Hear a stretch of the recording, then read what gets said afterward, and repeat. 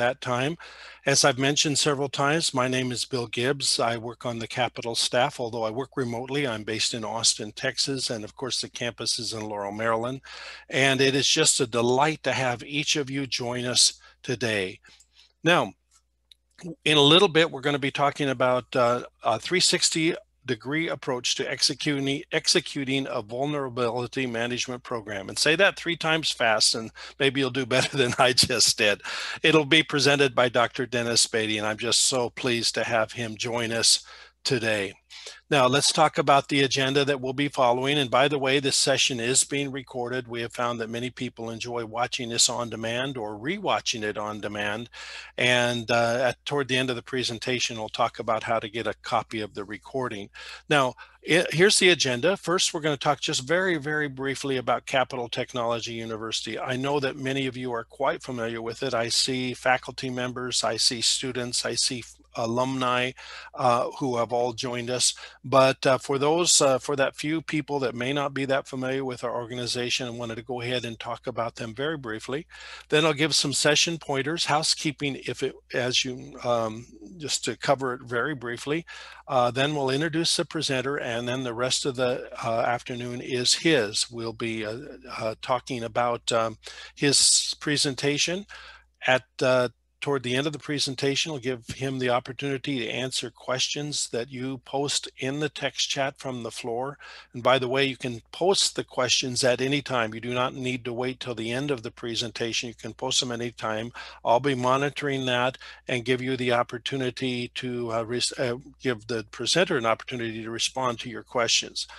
Then uh, after that, right to, uh, near the end of the hour, I will uh, be talking about our upcoming webinars and then uh, talk about how to get a copy of the recording, a copy of the slides, and a certificate of completion if you desire one. Let's just talk very, very briefly about Capitol. And again, uh, many of you are very familiar with our organization, so I don't want to spend a great deal of time on this, but I do want to make sure that you know a little bit about us. Um, there are really just a handful of facts that I'd really like to cover today. Capitol is a nonprofit, private accredited university lo located in Laurel, Maryland, and established in 1927. Let's dissect that just a little bit. Nonprofit, that means our focus is on our students and uh, not owners or shareholders. Uh, we are private. That means we have a nimbleness and a responsiveness that public universities just aren't able to have because of uh, their public nature. Uh, we are accredited. We actually have regional accreditation from the Middle States Commission, which is the highest level of accreditation available to any college or university in the United States.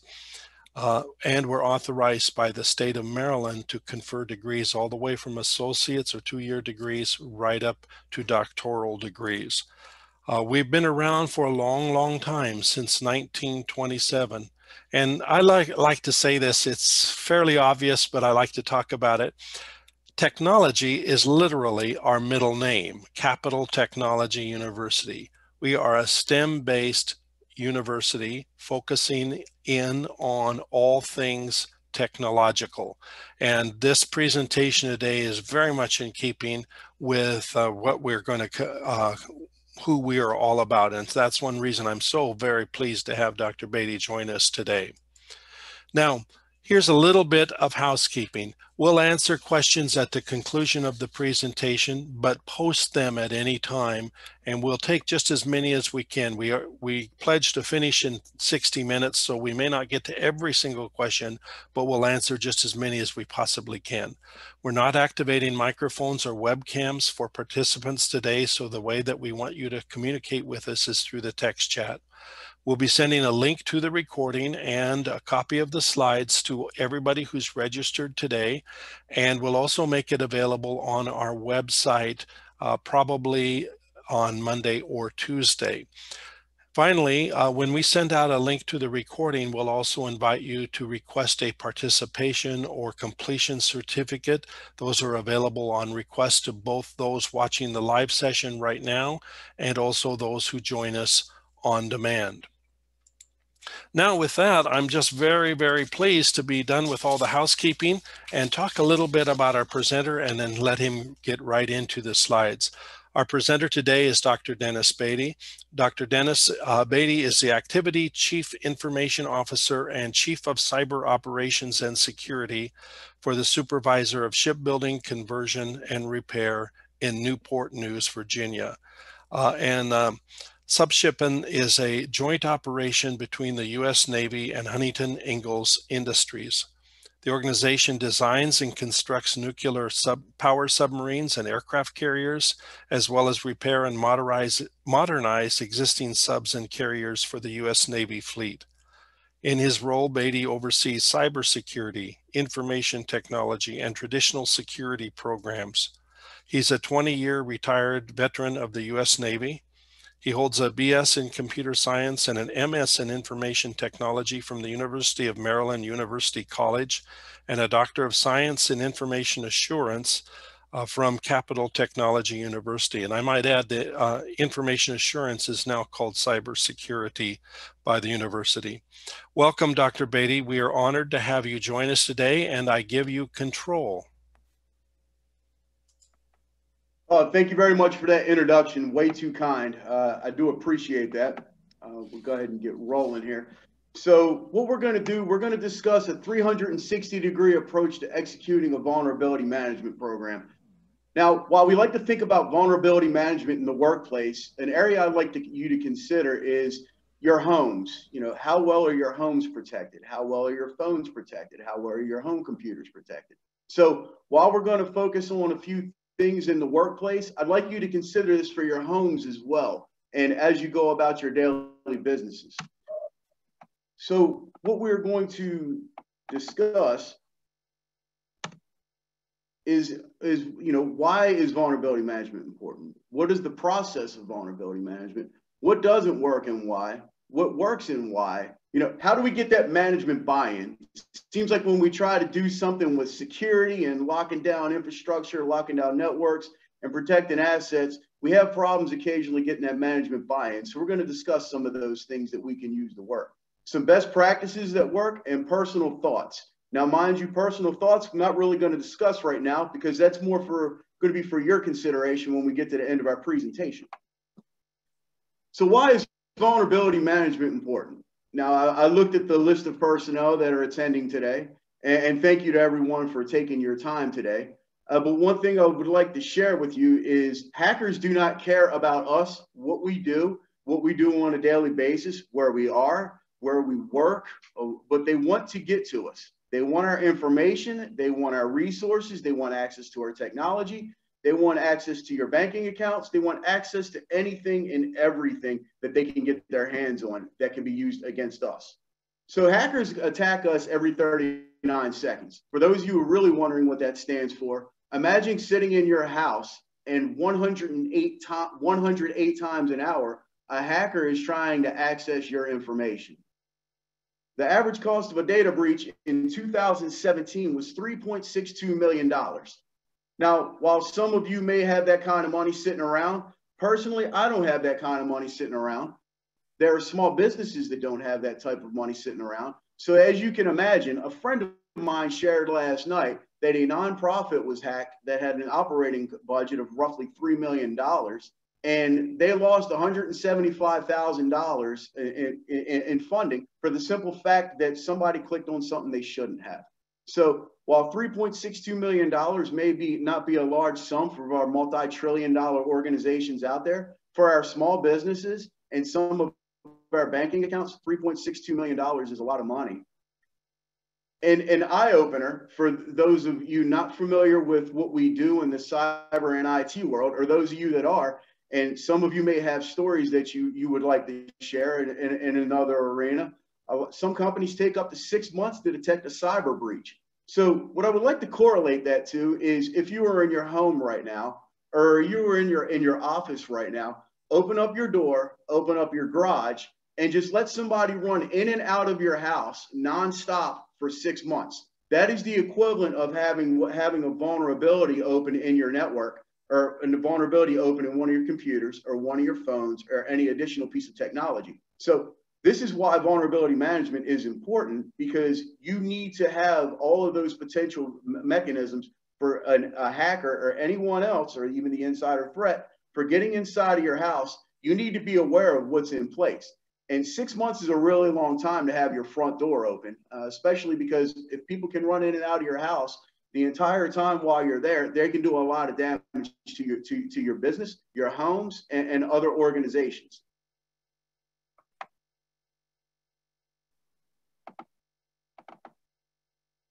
So let's discuss the vulnerability management process. First, we have a delay. Sorry about that, people.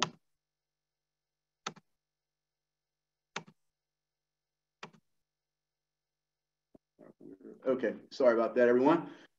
We're doing this in real time. Obviously, we're not pre-recorded here. So we're all the way back. There we go. One more.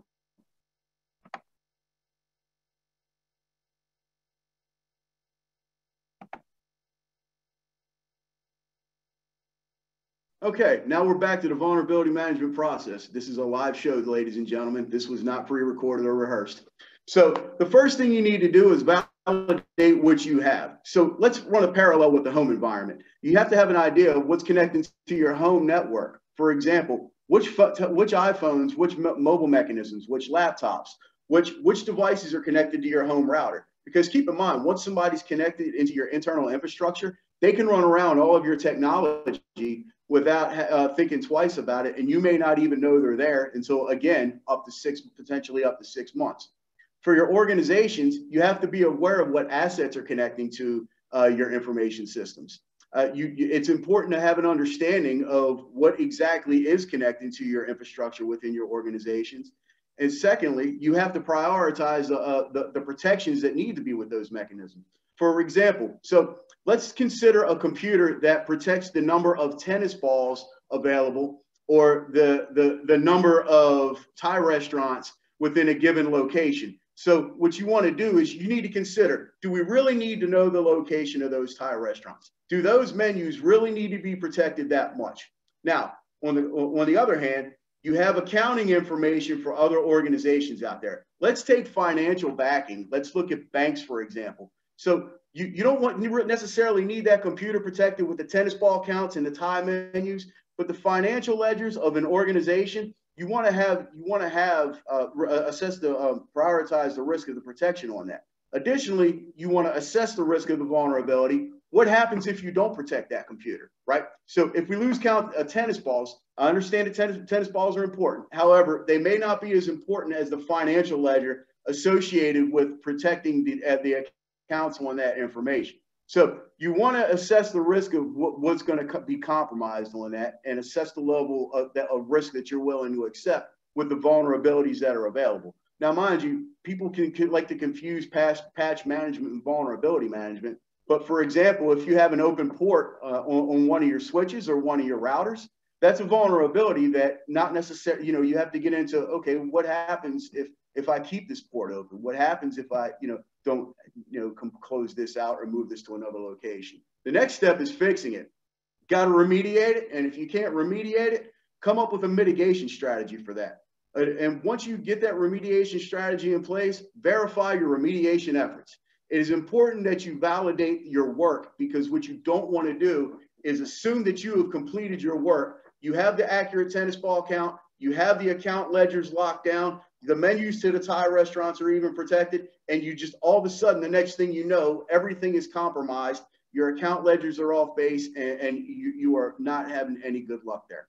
So, additionally, after that you've completed your remediation, report your updated security posture before and after to senior management. So, one thing about senior leadership, and for those of you that aren't aware and have never engaged with senior management or executive management, they enjoy quantitative data. Where were we? Where are we? What is our next steps?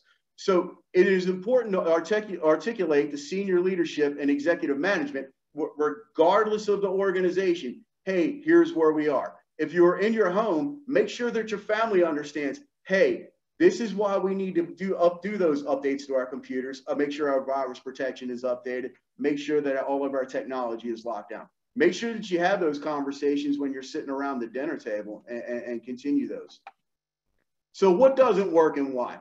Within organizations, if you do not have an established or, or, if you don't have or follow a vulnerability management plan, you're wasting your time. If you have a vulnerability management plan in place and you aren't following it, you essentially drafted a document to check a block uh, to, for, for accreditation purposes. And that is not good for anyone. Uh, if you are in a senior management position and you have a vulnerability management plan in place, check with your check with your teams, check with your CIO, your CISO, and see how the, the how the vulnerability management execution plan is going.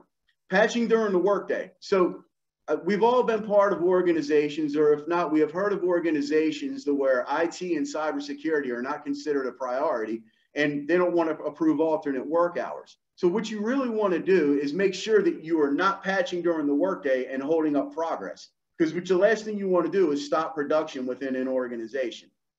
Short notice and no notice maintenance windows. So right now, we, we, you know, we're in the 12 o'clock hour. We like to think that people are having lunch on a Friday afternoon. Uh, for those of you around the world, uh, thank you for joining. It is potentially in the middle of the night or it's early in the afternoon, uh, where, regardless of where you are in the world right now. So if somebody were to interrupt us right now and say, uh, Dr. Beatty, we need to stop the Zoom uh, session right now because we have to perform maintenance. That will be an abrupt interruption, which is not conducive to maintaining a good, a good vulnerability management plan. So we have to schedule those types of things. Uh, furthermore, if we don't communicate, uh, communicate our security posture with senior management, we're not going to have the ability to provide senior management and executive leadership an accurate perception of where we stand across the board. So what we don't want to do uh, is, you know, what nobody really wants to do is say, this they don't want to be you don't want somebody to think that we're in a good way as far as cybersecurity in reference to your network infrastructure and accountability of the assets and as far as all other areas of security management as well that all of your vulnerabilities are being addressed when they're really not and the worst mistake that anyone can make in a vulnerability management program is pretending it will never happen to you. If you do, if you are in the in academia or you're working on your doctorate, which I did see a few students uh, sign up, pretending that it will never happen to you. There are so many people in, in the world that, that personal customers, uh, businesses, organizations the, the reason why they take cybersecurity serious and the reason why they have a vulnerability management plan is because it happened to them. So they're essentially taking a reactive approach, but it's a proactive approach in, in mitigating risks and remediating risks associated to their information. So now that we've discussed what, what doesn't work, we're going to discuss what does work. So scheduling maintenance and having leadership stakeholder buy-in. All right, Let's get leadership involved. Let's make sure that leadership understands what it is exactly that we're doing and why we need to get that maintenance schedule. Having a reoccurring maintenance schedule is going to prove invaluable. So, for example, if you have maintenance at nine o'clock on a Friday night, if you have a working the working level manager, so whether you whether you, you have uh, people within your organization that supervise two people, three people, one people, one person, 500 people, a thousand people, what, whatever it is that you want to oversee, you want people to be able to plan. You want people to be able to have uh, have a way to say, you know what, I can't plan maintenance from 9 p.m. Eastern Standard Time to 11 p.m. Eastern Standard Time because we're going to be doing maintenance during that time. Or they can schedule work around that time that is not going to require that uh, work to be done that impacts that maintenance window. So it gives leadership and it gives uh, organizations time to plan what exactly what, what ex, when exactly that maintenance is going to be. Additionally, providing those reports to management. So we talked about not providing them is a bad idea. Let's provide those reports. Let's sit down and with those that C-level leadership and with the with the CEOs, the presidents of organizations, having those conversations and say, here's the maintenance that was not completed and what was not. And here's why, and have a path forward for going for, for, for moving forward. So often we find ourselves in situations where we have a problem without a recommended solution. So let's, you know, if, if we were not able to complete some of our maintenance, let's share why we were not able to complete it, and let's do what we need to do to get that maintenance completed. Uh, timeliness is important in mitigation risk, is, is mitigating risk and remediating risk. Uh, there, nobody wants to wait that extra time uh, to get that done. And it's up to us to articulate the importance of that within the cyber IT realm. Additionally, communicating with end users those maintenance periods for work for for uh, for work planning purposes. As we discussed, we need to schedule that maintenance. We need to communicate with everyone. So we needed to communicate with the working level, the senior management. Hey, you're not going to be able to do work during that time. Maybe a user is more favorable to work work late at night from 9 p.m. to uh, 11 p.m. at night. After you know if you're working from home and you're, you're connecting via VPN and you know there's maintenance going on on the you know throughout the infrastructure, the kids are in bed, whatever, they're not going to be able to do that. They're not going to be able to access that information from 9 p.m. to 11 p.m. at night. So if you let your dogs out at two or three o'clock in the morning and they go running around outside, you're not going to want to be able to have to do that either. So you're not going to be able to work. So most likely, if that's the situation you're in, you probably want to retrain your dogs to go outside at one o'clock in the morning. So puppies will do that just for, so everybody's aware. Sending user email reminders saying their information system is powered on. So it is easy to just say, hey, you know what?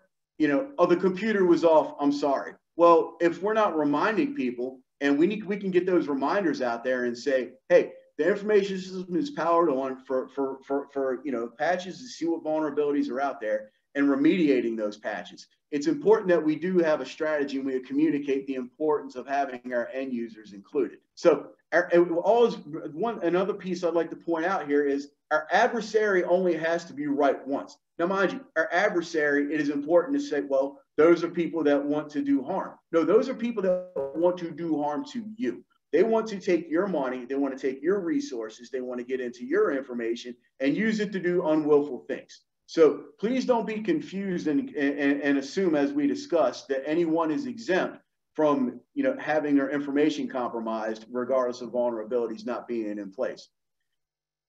And also, it, it, we don't necessarily need to be the popular people when we're executing a vulnerability management plan. Establish deadlines for that remediation strategy establish a plan for quarantining those vulnerable assets. You know, if you have a, a piece of your network, uh, you know, and, and with assets or a switch or a router that is not uh, necessarily in compliant or it's reached end of life, you might have to per, uh, move it to a different virtual local area network if it's that important so you don't compromise your assets that are compliant. So keep that in mind. It's not necessarily always going to be a popular thing with vulnerability management. There are conversations that has to happen, and we are constantly assessing risk and find assessing risk with vulnerabilities. It's important to have a continuous dialogue with that.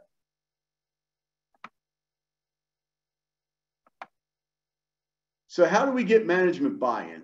So let's get on those calendars of the CEOs and the presidents. And for any of my fellow CIOs out there, do not be shy for having the conversation with your CEOs and presidents of the organizations and saying, you know what, this is great you know, you're making a good amount of money here. We're, we're, we're, we're in the black on our profit margins. But if we get hacked, we're going to get up in the red because a reputation will is detrimental and will cause, you know, a bad reputation and cause harm to the, your financial bottom lines. So the last thing anybody wants to do is be caught up in, uh, in, in, in, a hacking situation where information is being compromised, where you're potentially going to, you know, impact your customers, your customer base, or compromise your sensitive information uh, you want to make sure that your stakeholders and you know that's executive management and that senior management that's the ceos they're aware of your network security posture. And if you are the ceo of your own company and, and you just so happen to have a cyber background uh, you, you are a gold mine right now because you understand the importance and i like to think that is already ingrained in your organizational culture. So furthermore be consistent with your vulnerability management schedule so what you want to do is, for example, we've been talking 9 p.m. Eastern Standard Time, 11 p.m. Eastern Standard Time. Make sure that you have your schedule and you are consistent with your schedule. So that way management becomes, uh, management understands, hey, from 9 p.m. Eastern Standard Time to 11 p.m. Eastern Standard Time on Friday night, we're not going to be able to access our infrastructure. And it is understood that we're not going to be able to do this, whatever we have to do during that time we're going to have to reschedule. So whatever you can need to do, you can plan around that. Furthermore, document your network security posture and document on a regular basis. So let's not be shy about providing those reports up. As we know in some organizations, when if when the IT uh, when IT systems get hacked or your systems get compromised or information gets stolen, the first people to get fired are the CISOs, your chief information officer, or your chief information security officer, or your chief information system security officer. Uh, for some of you, that may be your information system security manager. So provide that objective quality evidence about where you are so executive management is informed. In the event that you know a vulnerability management plan is not in place and it is not successful, you have the ability to say, we provided this information to you. We told you that this is what happened. So if the, when the finger pointing begins, for those of us that have been, ever been involved in an incident, we know the finger pointing will begin. You have the ability to say, yes, but we told we got hacked, but we told you what the security was. We told you what the issues were. Here were the reports to where we provided you continuous feedback and continuous updates on where we were and how we were going about it. So best practices.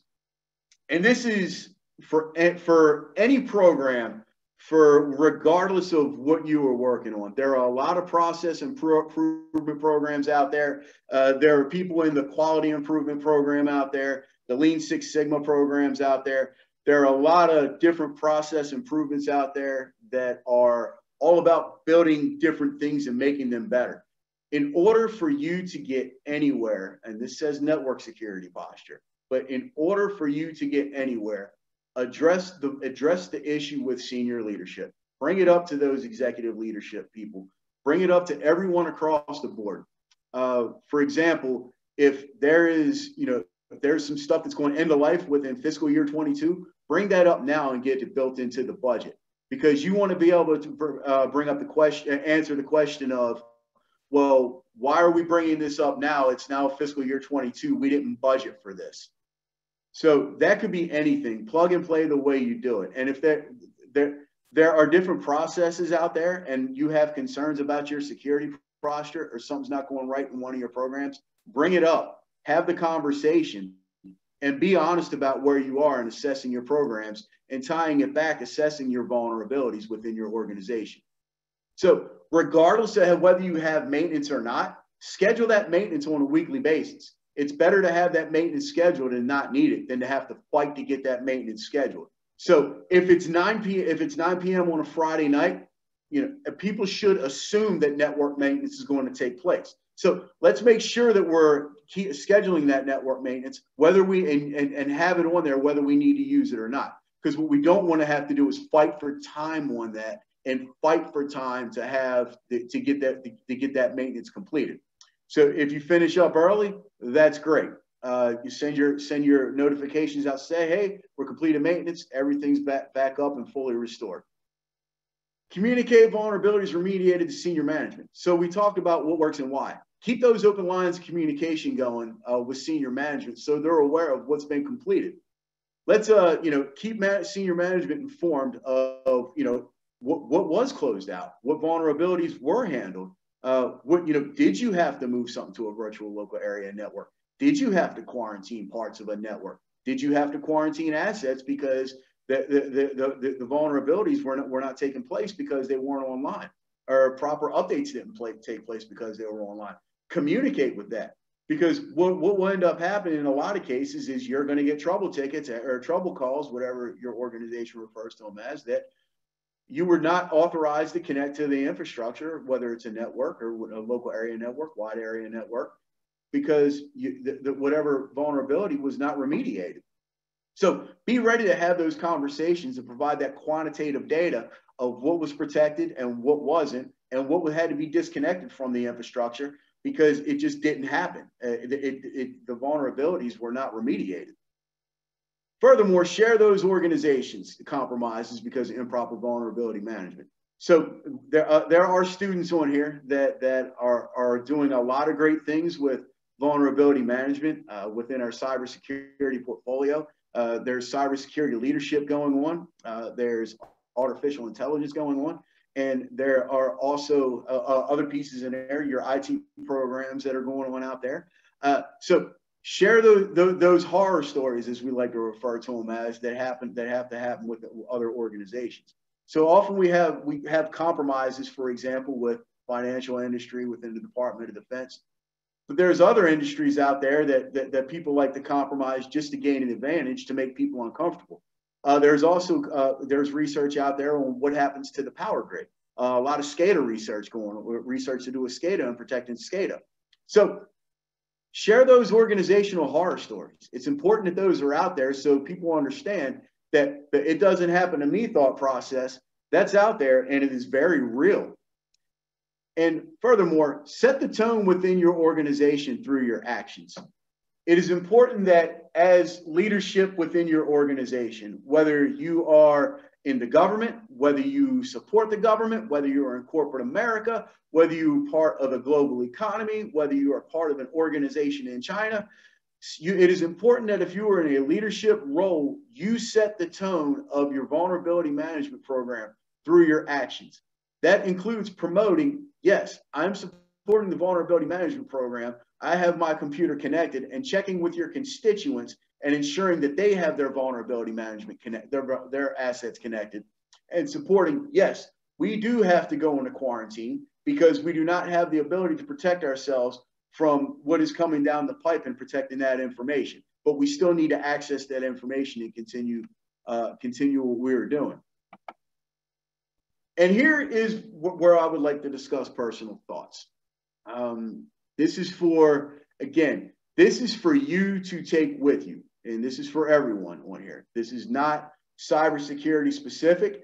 This is not home specific. This is not um, you know, information technology specific. This is just good leadership specific here.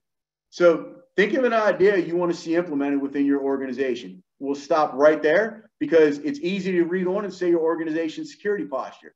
Think of an idea you want implemented within your organization. So my next question and my next challenge for you is, is management aware of your idea?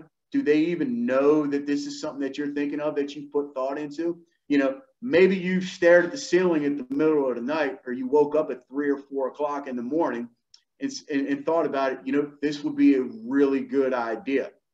Um, is management aware of your idea? Have you had a conversation? You know, have you thrown stuff against the wall just to see if it would stick? Uh, because for all you know, you might have an idea that I don't know, maybe you end up saying that 3.62 million dollars that we were working about. There was an uh, this we were discussing earlier. You find out that the vulnerability, or there's a piece where you can recoup that 3.62 million dollars in another area, or you can reallocate resources from another piece of your program and hold on to that $3.62 million or recoup some of that. Before you ask that of your management, what are your barriers to implementation? Uh, are you your own barrier? Are you afraid to ask the question of yourself? Do you think that somebody's going to not want to hear what you have to say? Um, there are there are a lot of great ideas out there that never get to the forefront because people self impose their own barriers. There are a lot of fantastic leaders inside and outside of the cybersecurity field that self impose their own barriers because they're afraid what people think. It takes a lot of courage to bring good ideas to the table. It takes a lot of courage to establish those barriers and have that conversation with management and say, hey, here's what I would like to do, here's why, and here's where I need your support. When you get to that point in your journey, in your career field, and your career path, and your current position, my challenge for you is you have become very comfortable, comfortable. You become very adamant, and you've become very concise in what you are doing. So my challenge for you is take that next step and move on to the next piece of what you're trying to do, because you have definitely grown and blossomed into that position that you're in right now. If you're willing to challenge anybody and everyone and figure out what you need to do when you bring those ideas up to senior management. So when you go into work on Monday morning or you log on to Microsoft Teams or you log into Zooms or whatever you log into, my challenge to you is you share that idea with that person above you and you you you you you press that idea. And if somebody says you're going to have something today or you're going to have something tomorrow, you do what you need to do to make sure that that happens and you get that idea across the finish line. Because for those of you that, that, that, that do not know, the worst idea that is out there is the only idea that is never shared. Do not create your own barriers. Please do not do that. And with that, I would like to open it up for questions.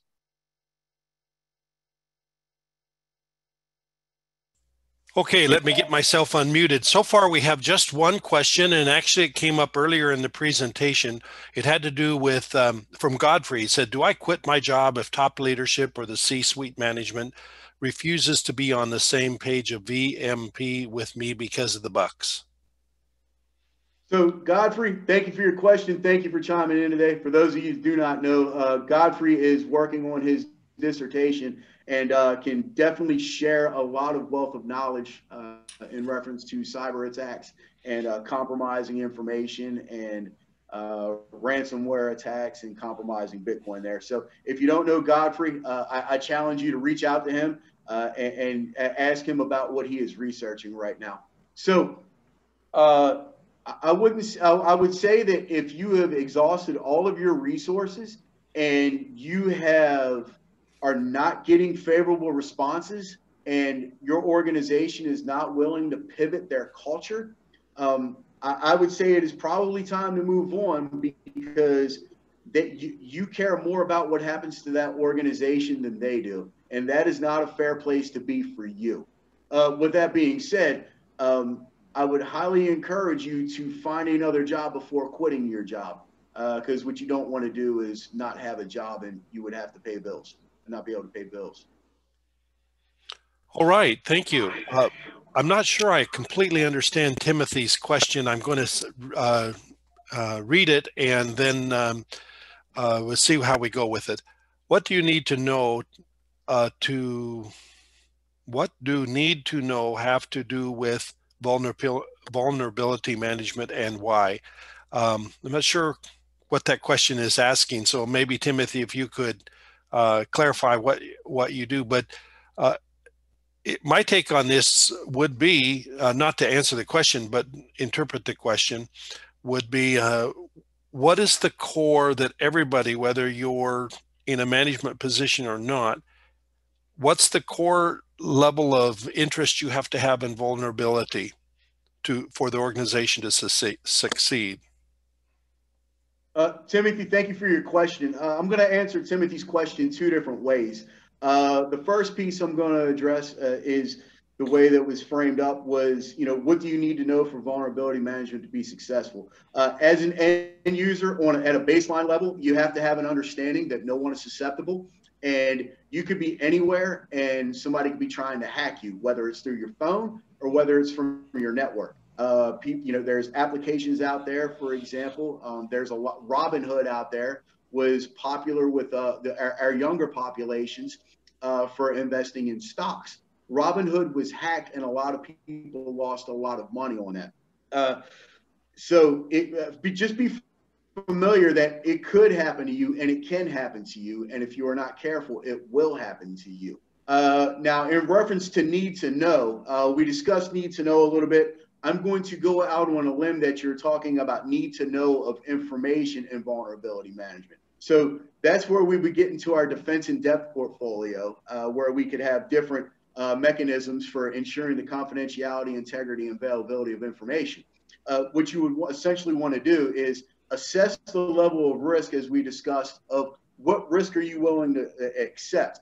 Uh, find out what how much security you want to have in place, and decide what the value of that information is. Determine, you know, how much security you want to put in place and find out what your return on security investment is, uh, plus the impact of, of what would happen if that information is compromised. So when, when I think of need to know, uh, I think of uh, different types of information that are out there. So what you would, the question that I, I would challenge you with, Timothy, Timothy, is what exactly is what is what do you need to know as to do with vulnerability management.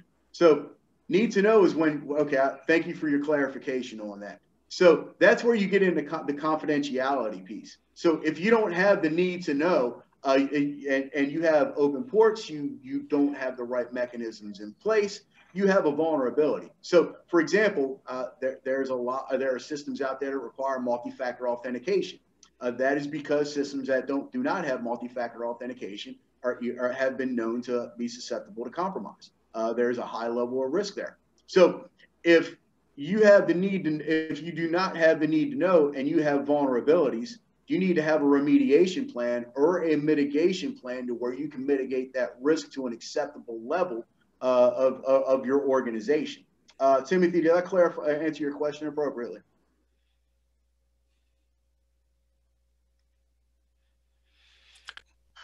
While we're waiting for Timothy to respond to that, I see a question from uh, Wilson that is very similar to the go- uh, question that Godfrey asked, but but slightly different version of it. How do you handle management that they want to see progress, but they don't want to actually support you to make a difference? So I would venture to say that there is a breakdown in communication somewhere on that, Godfrey. Uh, there is the they want to support, but they don't. They don't. If I understand you correctly, they they want to make a difference, but they do not. Um, so it's a matter of spelling it out for them. Essentially, what I like to refer to as putting it in refrigerator letters. Uh, spell it out in a language that they understand. So, for example, uh, we discussed multi-factor authentication. So, when you have multi-factor authentication, you know, you have to have that in place. So if they want to implement that, articulate to them, this is what multi-factor authentication does. This is what it looks like. Here's the here are the programs, here's the software that that you can use that with, and that's what that of how you can go about doing that. So spell it out for them of what supporting looks like. Uh, don't assume that they are going to automatically have an idea of what they are, are, going to be able to do because we're the subject matter experts or we're overseeing the subject matter experts. So present to them what exactly that supporting the cybersecurity looks like and, and go go about it that way. Thank you. Brandon asks an interesting question. He says, What are the limits of liability with regard to security and service providers? For example, your home network is attacked and compromised because your ISP is using compromised or outdated security settings. So I would have that conversation in advance. Brandon, thank you for your question. I would have the conversation in advance uh, because there is a lot of fine print in contracts where they talk about not being susceptible and like you know what, what you do we monitor it we're not responsible for protecting it uh, what you do on your home router is your business you're responsible for protecting your ssid um, so the what we can essentially do is have that conversation with our isp and pay attention to what we're reading in that contract and and, and go from there uh, because a lot of times, if, if your systems get compromised, say uh, via ransomware, uh, and you call your ISP, they're going to put the onus on you and say, "Well, why did you click on that?" Or how did you, you know, how did you go about that? Why didn't you update your passwords and, and the like? Thank you. Um, yes, th- there are a couple of uh, questions that uh, are kind of somewhat related. Uh, I'm going to mention Timothy's first, but also Larry's at the same time. Um, not everyone should should know based on security level and how do we make sure that we're communicating to those that do not need to know and larry asks a similar question in the sense that how does your organization handle user training which comes to bear in other words um, when you're training people how do you make sure that those who need to know certain things have that ability to know it and those who should not know it don't know it um, and, and uh, um, I'm curious about that myself, to how that would be handled. So you, you can have segmented networks and you can have access control lists to, within those segmented networks. Uh, and again, I would I would go back to uh, from a, from from from a logical standpoint, you can implement access control lists. Uh, you, you, depending upon which type of information you're trying to access on a logical side. Uh, if you're talking about uh, folders and, and, and, the like. You can have security groups. Uh, you can have um, you can have multi-factor authentication in place for accessing certain systems. Um, it depends on which way of need to know that you're looking into. So, for example, let's take this Zoom presentation right now. There is the potential to have multiple Zoom presentations going on at the same time. However, in order to get into the Zoom presentation, the potential exists that there could be a passcode on here for entering the Zoom presentation. So that will be a mechanism for access control. Uh, of the 40 people that are on here right now, uh, that would uh, that would state that they received access to the, those four to those 40 people have that password. The same can be said for your file structure within an organization. you can have an access control list implemented uh, for that information. Now, furthermore, you could also have different different virtual local area networks uh, where you can have have segmented network a segmented network structure to where different people have access to different pieces of, of your, your file structure within your organization. So, for example, right now, if we look at our Zoom, there are three people that have presenter rights right now. Everyone else is considered an attendee. That's a mechanism used for need to know. So there are 37 people on here that don't have the need to have presenter rights. Um, in, in, reference to user training, uh, my organization, we have a baseline for out the for the regular user. We have a generic, not generic, but we have a level of annual training that is required for distinguishing the uh, best practices, what what do the do's and don'ts, um, and that is required upon onboarding. And finally, it is it is required annually as an annual refresher training. But with that being said, we also can continue. We send out monthly bulletins. We when something comes up, uh, if there's a potential of things getting compromised with with at home, we focus on at home as well. Uh, we focus on different types of security and uh, hot trends that hot trends that are going on within cybersecurity. Okay, I do not see any additional questions. I'm going to go ahead and move on to my uh, concluding section, but I'm going to continue to also monitor the questions. So if more questions come in while I'm talking, we'll revert back to you, Dr. Beatty. Now Thank let me turn my video on and I will take control momentarily. I wanted to just mention that we have uh, several webinars still coming before the holidays or before Christmas. Uh, we have um, two series of webinars running right now. One is the CapTech talks that we're in. I'll talk about that in a second. But we also have the impact of emerging emerging technology on society series. And our final webinar in that four part series is on Tuesday Construction State Safety Advancements Protecting Workers Through Technology and Innovation. I don't know if many people realize this, but out of the 10 most dangerous jobs in the United States, three of those have to do with construction.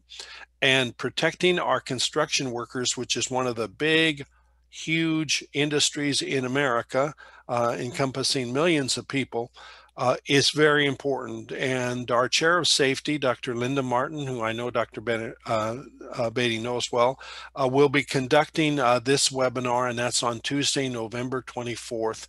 Uh, if you'd like to learn more about that, please go to um, the website and check it out. And then we have uh, two upcoming webinars, one in before Christmas and one right after Christmas uh, in the CapTech Talk series.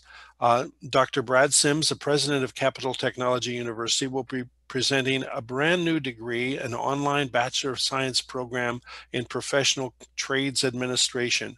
This will allow people who've gone through an apprenticeship to actually leverage that apprenticeship hours into college credits to help them work toward a degree. Uh, and then on January 15th, the chairman of our board, uh, Mr. Hayden Land, will uh, present a fascinating talk on the future of technology as it impacts education. I think you'll enjoy both of those. Again, to learn more about them, go back to the webinar webpage, uh, webinar-series. Now, let me just talk real briefly, and then we're going to come back to this final question that I see here from Dwayne. Uh, we're going to be sending a link to the recording and slides that will either happen later this evening or first thing in the morning. Uh, watch for that email. We'll also at that time give you the opportunity to obtain a certificate of completion. All of our webinars in the CapTech Talk series offer certificates of completion for 60 minutes, and you can request one by simply replying to that email with the name that you want on the certificate. And by the way, that if you are watching this on demand, which many people will do, uh, you are also entitled to receive a certificate if you wish. Okay, that concludes my part of the webinar. Just be watching for that email. I'm going to return now to the final question that Dwayne has, and then we will be concluded for the morning, or for the webinar, excuse me. Dwayne says, is there such a thing as too much security information to the point where employees stop being alert? And how do I avoid this? And furthermore, he asks, what we can do, what can we do as CIOs to keep the information from being disseminated, being disseminated stay fresh and relevant? Dwayne, thank you for your question. So there is a point of saturation uh, where we eventually people become numb to information. Uh, it's you know like to refer to it as information fatigue or security fatigue. Uh, if you know the first time you hear about something, it's it is like wow, this is crazy. If you hear about it every day, it it, it manages to diminish. Uh, what I share with my teams uh, is to is to pick your spots. Like everything does not have to be addressed right now. So, for example, if you if your organization, you know, if there is a weekly bulletin that comes out, then you know send that weekly bulletin. Don't don't send out something five days a week. If it's a monthly bulletin, send something out once a month. So it's important to establish the operations tempo on how often people are going to be updated, and they're going to update their information in reference to security. Uh, it's one of those areas that if people hear about it too often, they're not going to care about it. Uh, if they don't hear about it, uh, if if they only hear about it when when something big happens, you got the potential of something small getting through. But picking your spots to where people can expect expect to hear something, uh, that, that that that's where the that's where the uh, the X Y axis crosses. Uh, additionally, if you if if there it does get to a point of saturation, uh, get that senior get that senior executive management uh, in there to have them send something out about it to get, to get some wheels on it. So, for example, if uh, let's go back to remediation, uh, it it it um you know you get the remediation strategy and people aren't remediating. Th- that's because they're getting emailed so often about it that they're no longer reading the correspondence about it. So, only sending out communications when it is absolutely necessary uh, is the way I would go about that.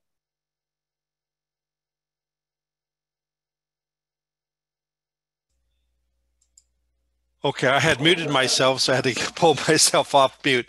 Okay, well, thank you very much. I see no further questions. I do want to just, uh, as we conclude, and this will be the last comment uh, of the evening, doesn't really require a uh, response. I was fascinated, uh, Dr. Beatty, by your comment, are you your own barrier? And that we have our own self imposed barriers. And I was thinking about that not so much in a security or IT framework, but just simply with good ideas that exist out there uh, that people uh, do lay awake at night. They, they, why does no one listen to me? Why will they not? Now, if they try and no one will listen, that's another matter. But many times uh, we don't try. I, I valued that remark, and it's something I'm going to ponder to make sure that in the organizations that I'm involved with, whether uh, they're uh, community organizations or professionally, that if I have a good idea, that I'm willing to share it and uh, I do like the idea that that you also have an implementation strategy that goes along with an idea. It's not just simply a raw idea, but you know how to fix the problem and you've thought it through in its entirety. But speaking of that entirety, in its entirety, the webinar is now concluded. We will officially stop at this time. The recording will stop. I'd like to thank you again. And as it says on the slide, I would like to remind everyone, if you've registered, uh, I'm going to be sending you, whether you viewed the live session or you're, you're going to watch it on demand, I will send you uh, an email with the link to the recording and how to get the participation certificate. And I look forward to hearing from you.